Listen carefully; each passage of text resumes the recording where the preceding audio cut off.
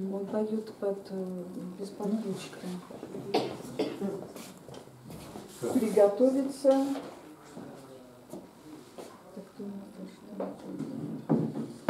Максим Жарницкий. Слушайся, повинуйся. Я иду четко по списку, ребят. Не обижайтесь. Только... Можно, да? Конечно, да. А, по а, все, все, хорошо. Так, я вот понимаете как, я сейчас скажу пару слов совершенно не по делу, да. Хочу благодарность выразить Новиковым. По какой причине? Я уже Лене говорил. Вот оказалось так, что их знают довольно далеко. И вот я побывав в нескольких ЦДМ сегодня, да, дома для молодежи, или как они там называются, там приходит пять старушек, редко больше. А в тех вот местах, которые вот аналогично вот это, я тоже побывал, в некоторых, не буду их называть. И как-то все-таки, вот мне больше, пожалуй, хоть я и редко хожу, нравится здесь. Их помнят на Урале, их знают на Урале, не знаю почему. Может быть из-за интернета. Вот в Нижнем Тагиле, где я был совсем недавно, прямо сказали, вот скажи им спасибо, мы их смотрим. Ну, хорошо, если так. Отличное место Нижний Тагил, хорошо знаю. Да, вот, это первое. Второе, а вот тут я приношу извинения. Целых, ну не месяц, ну неделю я хотел выйти с гитарой, а потом понял, когда вот Виталий подыгрывал Андрею, да, я думаю, мы в следующий раз сделаем так. Я подготовила песенку, она называется «Мой февраль», а спою ее в марте. Честное слово, вот не смогу сегодня никак. Есть для этого причина, ну я все слушал, да, давайте я переключусь, так я смогу. И вначале совсем потустороннее. Не про нашу тяжелую жизнь сегодня. По следу Михаила Яснова. Знаете такого, да? Да, конечно.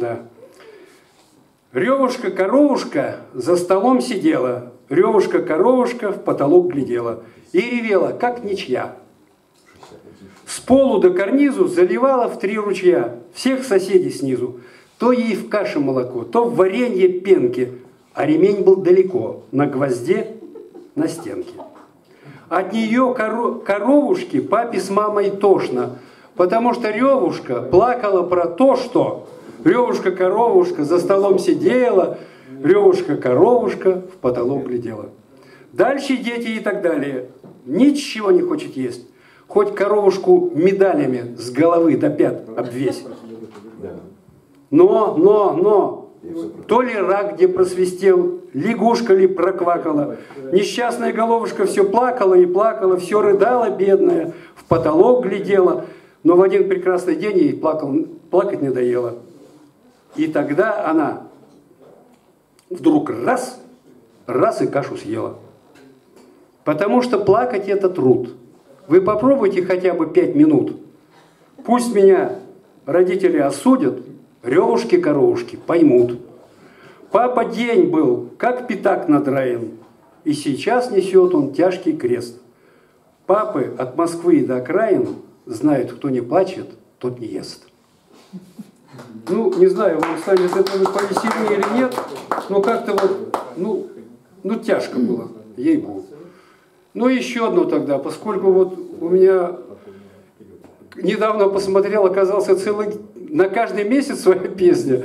Вот мы две порепетируем, может быть, Виталиком где-то соберемся, тогда это будет достойней. Но и много детского, вот, а из детского, а его всегда можно читать. Я недавно был вот где-то, ну, знаю, где был, не скажу, но все-таки люди вот детское слушают.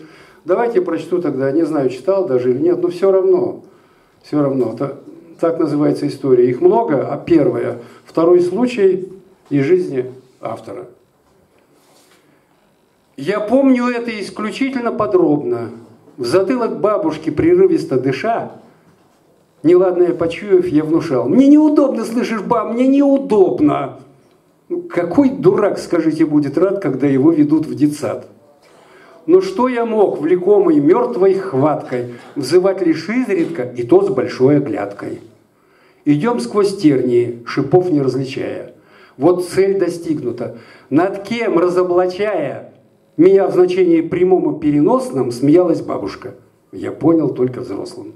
И в назидание бабушкам другим я вам советую вообразить картину.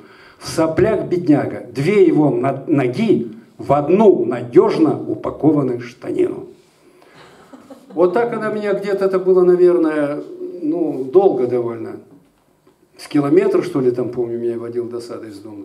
Так, ну а теперь давайте другое все-таки. Вот э, поскольку о жизни было, да, я тоже хочу что-то о жизни сказать. И вот это стихотворение для меня очень важное. По крайней мере, товарищ Бояринов читал его, у меня есть видео. Читал, я остался очень доволен. Так, да, да, да, видео у меня есть. И даже после этого мне что-то там вручил. А, а написано оно, ну вот верьте или нет, да, в общем, полвека назад или, может быть, чуть-чуть поменьше.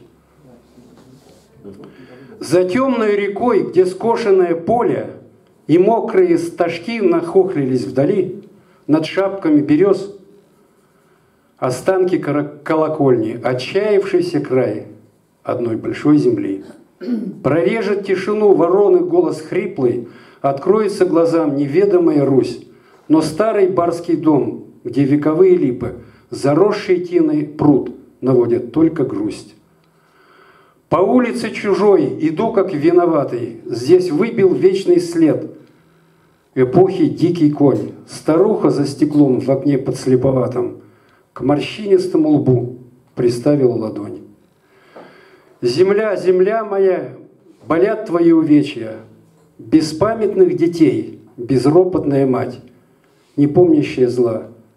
И оправдаться нечем, а каяться и вовсе поздно начинать. Ах, мати... Ах, материнский кров, последний наш хранитель, последняя надежда до последних дней. Не залечить души оборванные нити, чем дальше от тебя, тем истина ясней.